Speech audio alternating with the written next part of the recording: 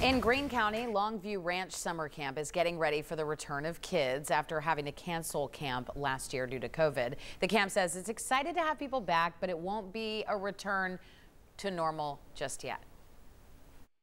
We are so excited about Summer Camp 2021. We're looking forward to having a great summer, welcoming everyone back. Of course, we still will have some precautions in place. The staff is required to wear a mask and hand washing and cleaning will be priority. Long View Ranch hosts five camps during the summer. The executive director says there are still spots available, including a full week in June.